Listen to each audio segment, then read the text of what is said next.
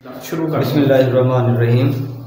Uh, this is our uh, seventh lecture in which we will discuss uh, Islamic economics versus Western economics.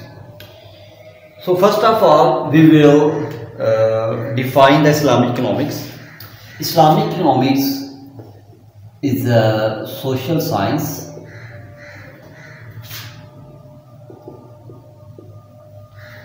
the social science which studies the economic problem which studies the economic problems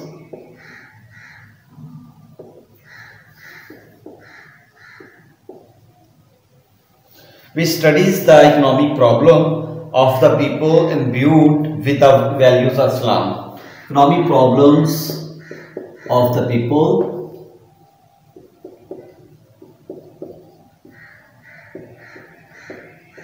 imbued by the values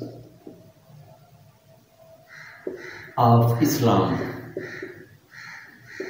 In simple words, हम Islamic economics में एक Islamic economy basically human behaviour को discuss करती है तो इसलिए हम इसको this is a part of social science तो इस्लामिक इकोनॉमिक्स में हम ये डिस्कस करते हैं कि ह्यूमन लोगों के जितने भी इकोनॉमिक प्रॉब्लम्स हैं उनको इस्लामिक वैल्यूज़ के साथ कैसे सॉल्व किया जा सकता है?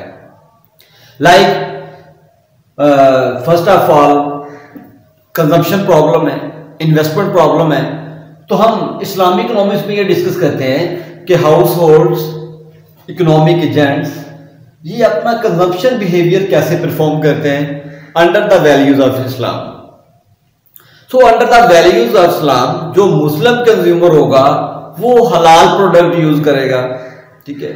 जो मुस्लिम कंज्यूमर होगा, वो मैक्सिमम यूटिलिटी गेन करेगा, लेकिन जो उसकी यूटिलिटी है, वो जस्ट उसकी कंज्यूम प्रोडक्ट से उसको नहीं मिलेगी, बल्कि उसको उन प्रोडक्ट से भी यूटिलिटी मिलती है, जिन प्रोडक्ट्स को वो अल्लाह ताला के रास्ते में खर्च करता है, ठीक है? तो इन द वे ऑफ़ अल्लाह कोई भी चीज़ जो कंज्यूमर अल्लाह ताला के रास्ते में खर्च करते हैं तो वो भी यूटिलिटी उसको मिलती है, क्योंकि मुस्लिम का इस बात पे यकीन है कि वो अल्लाह ताला को उसको मिलना है in the day of judgement so being a Muslim consumer a muslim consumer must consider utility in this world and hereafter so islamic economics deals with the economic problems of the people deals with the consumption problems deals with the investment problems okay but imbued by the values of islam imbued by the values of Islam, not imbued by the Western values. Okay. Now, I am going to discuss the difference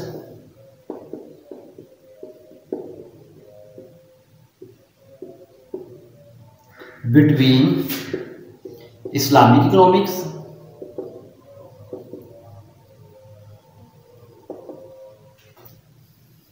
and Western economics. We will discuss the key points of the difference between Islamic economics and uh, Western economics. The first difference is the difference in the basic assumptions. The difference in basic assumptions. In basic assumptions.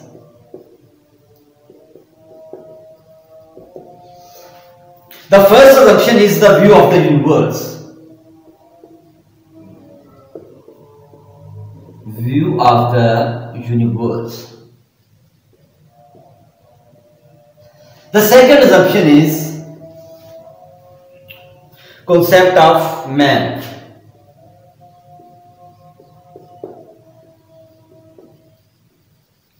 The third assumption is the supposition of the economic man.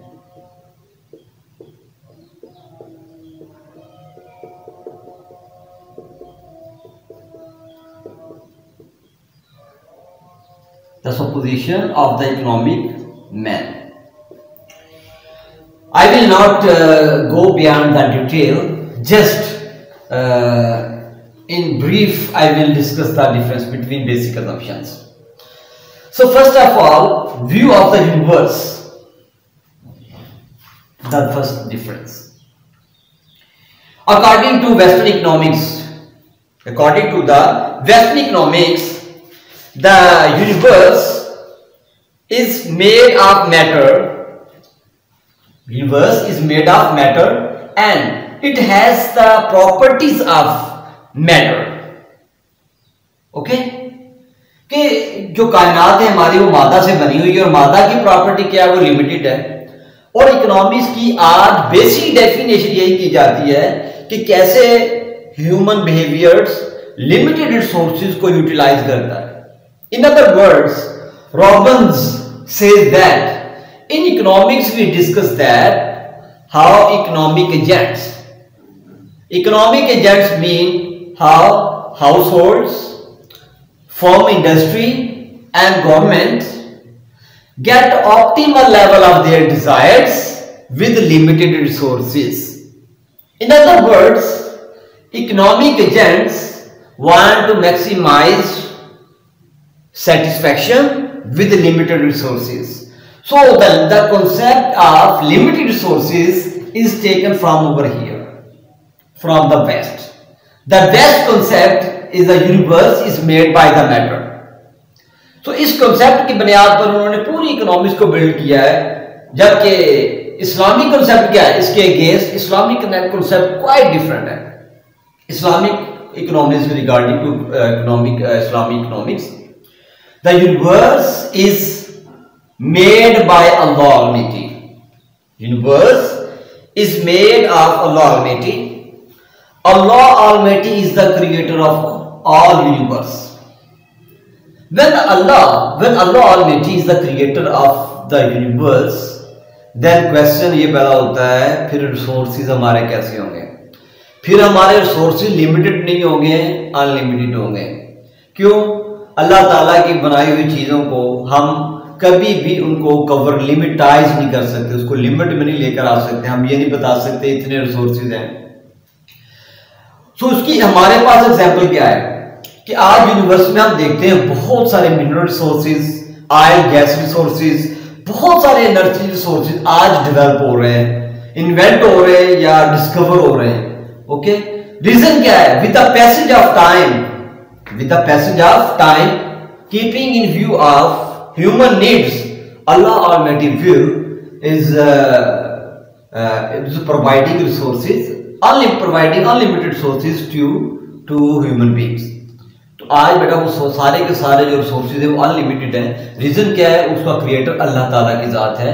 उसका creator कोई बंदा नहीं है। इसलिए जब हमारा ये concept होगा कि universe is the is made by almighty then definitely we will report that the universe is not made by not made by matter okay is not limited the resources are not limited फिर हम कभी भी ये नहीं कहेंगे कि resources आपके limited है, बल्कि रिसोर्सेज हमारे क्या है? अनलिमिटेड है। जब हमारे पास रिसोर्सेज अनलिमिटेड है तो फिर हम कभी परेशान नहीं होंगे मैक्सिमाइजेशन के हवाले से।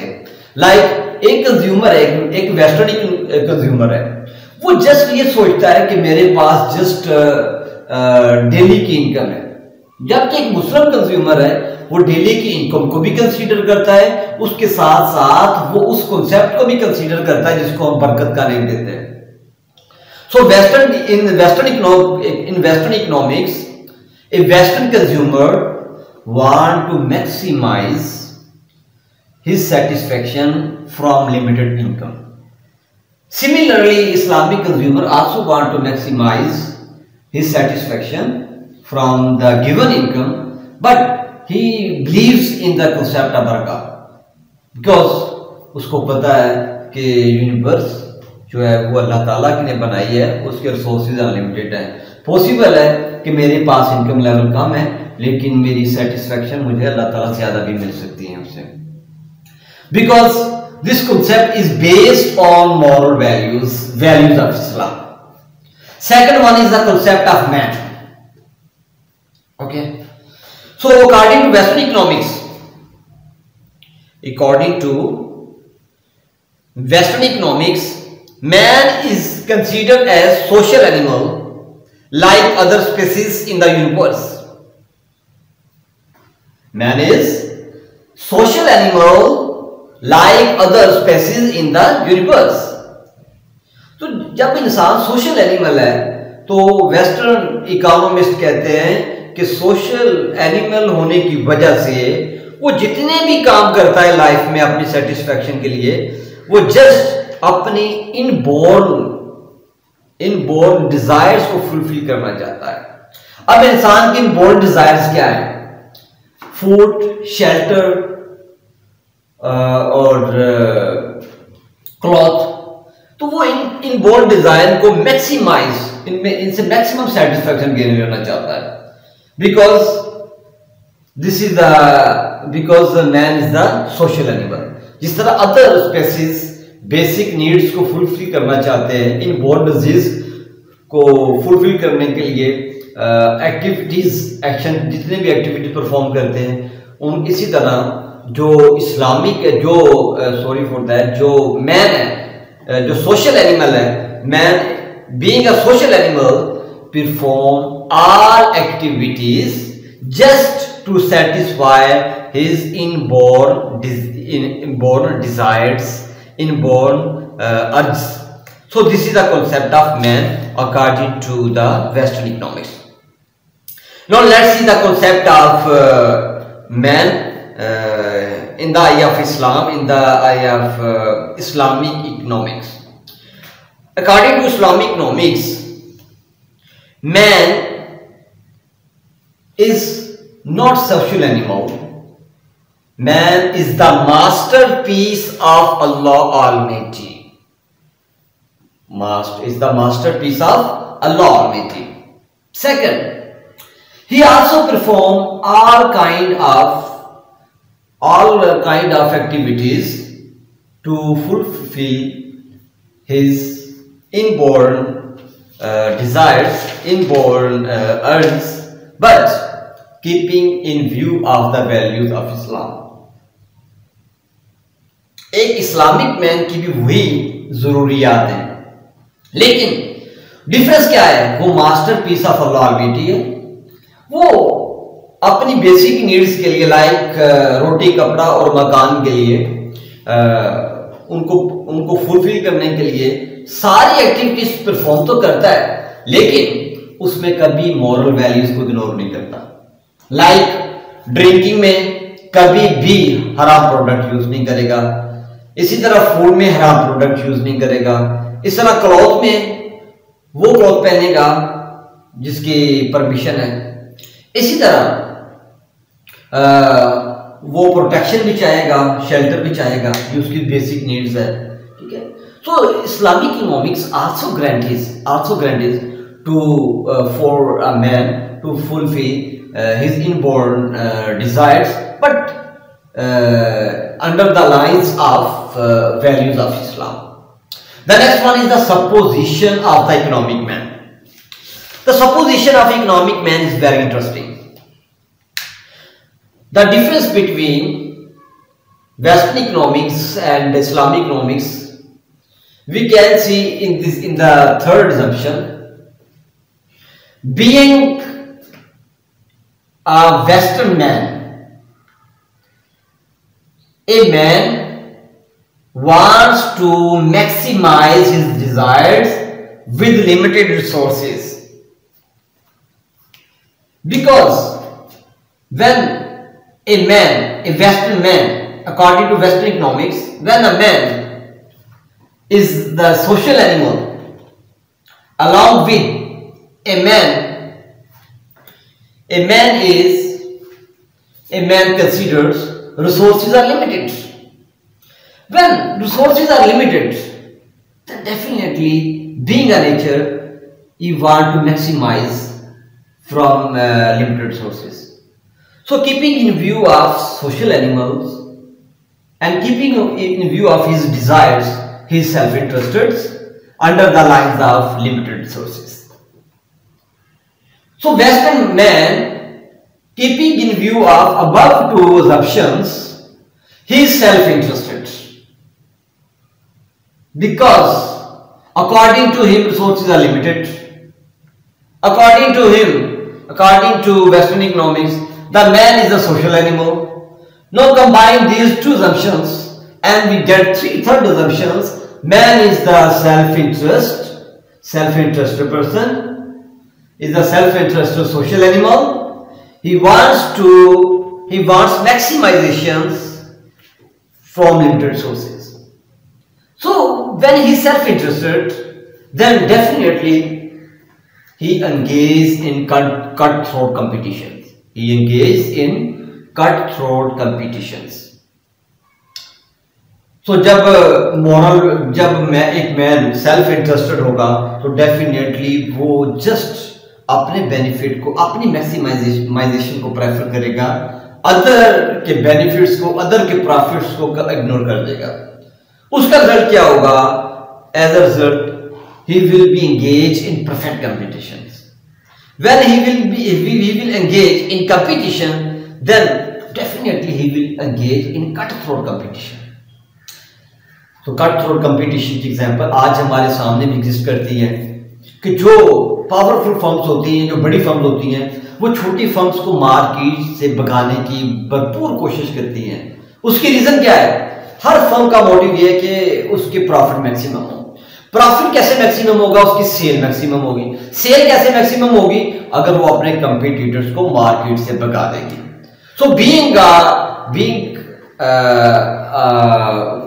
a western firm a firm will engage maximum profits by engaging itself in cutthroat competition.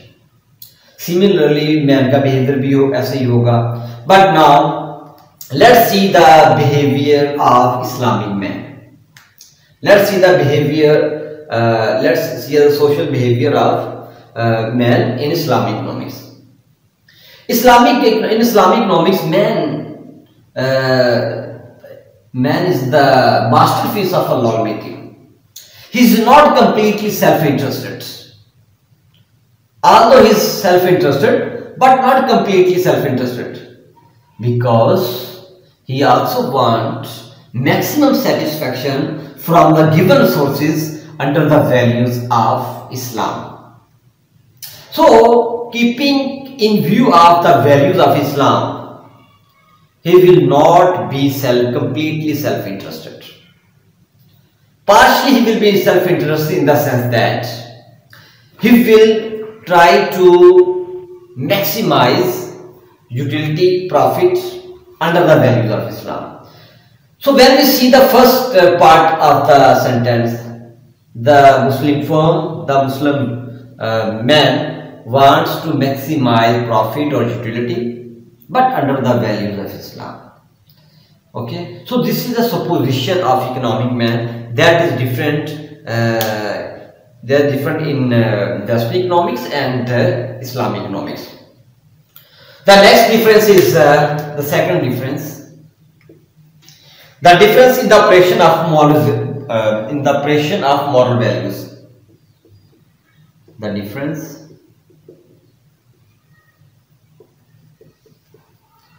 in the operation of moral values.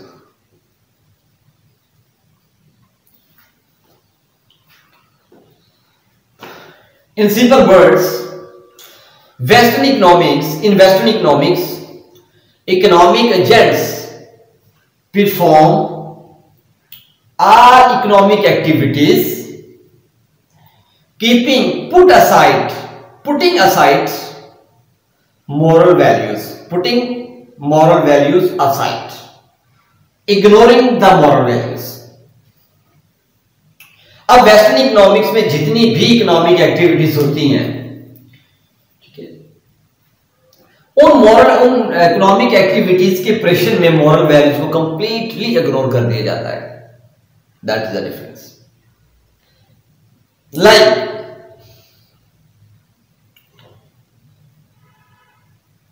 a Muslim consumer sorry a western consumer मिसाल दे रहा हूँ वेस्टर्न कंज्यूमर जो values पे Islamic values पे believe नहीं करता he will get maximum utility from given food okay ignoring the condition of his neighbours and relatives. वो अपने नेबर्स को भी इग्नोर कर देगा अपने रिलेटिव्स uh, को भी इग्नोर कर देगा just he has the focus of his own utility he has no intention for the utility of hereafter वो कभी भी हेयर आफ्टर यूटिलिटी पे बिलीव नहीं करेगा। क्यों? अब, अगर हम अगर हम वेस्टर्न इकोनॉमिक्स की बात हम कर रहे थे तो वेस्टर्न इकोनॉमिक्स में सिंपली वो जस्ट अपनी यूटिलिटी मैक्सिमाइज करना चाहता है। मॉरल वैल्यूज़ के प्रेशन को टोटली इग्नोर कर देता है। अब हम इस्लामिक इकोनॉमिक्स की तरफ़ आ रहे हैं। Islamic considers Islamic economics consider the complete role of moral values in all kind of economic activities a Muslim consumer not only achieve obtain maximum satisfaction from the given foods and also get utility from the charity given to his neighbors or the relatives. So, muslim consumer, just अपने खाए हुए food से utility gain नहीं करता, बल्कि उसको वो भी यूटिलिटी मिलती है जो वो दूसरे को फ़ूड खिलाता है या अपने रिलेटिव को हेल्प कर देता है। अच्छा बीइंग अ मुस्लिम उसके माइंड में ये बात कंफर्म है, उसका माइंड सेटिस्फाई हो जाता है। खुद कम खा लेता है लेकिन अपने नेबर को खिला देता है अगर मॉरल वैल्यूज़ हैं तब वो ये सारी एक्टिविटीज़ परफॉर्म करता है अगर मॉरल वैल्यूज़ उसके नज़दीक नहीं है या उसको वो इंपॉर्टेंट कंसीडर नहीं करता देन वो भी खुद खाएगा अपने नेबर्स को अपने रिलेटिव को नहीं कंसीडर करेगा सो economics considers uh, moral values in all economic activities. Similarly, firm. Firm also consider moral, moral values in production process, okay, in redistribution process, okay. So, while producing, firm will utilize, firm will utilize uh, halal inputs हराम पर input use नहीं करेंगे okay इसी तरह वो firm कभी भी cut throat competition नहीं करेगी कभी भी किसी फर्म को मार्केट से भगाने का नहीं सोचेगी बल्कि किसी से रिजक छीनने का नहीं सोचेगी। ऐसा कंपटीशन वो मिलके डिज़ाइन करेंगे, क्यों? Moral keeping in view of moral values moral values की वजह से वो फर्म क्या करेगी? बड़ी फर्म छोटी फर्म्स को भी इकोनॉमिक एक्टिविटीज़ में एंगेज करेंगे। ठीक है, कभी भी मार्केट से नहीं बगाएँगे इसको। So this is the second difference in the operation of moral values In one sentence, Western economics ignores the oppression of moral values in all economic activities while Islamic economics completely completely uh, follow the oppression of moral values in all kind of economic activities. Now we are going to the third difference between Islamic economics and uh, Western economics.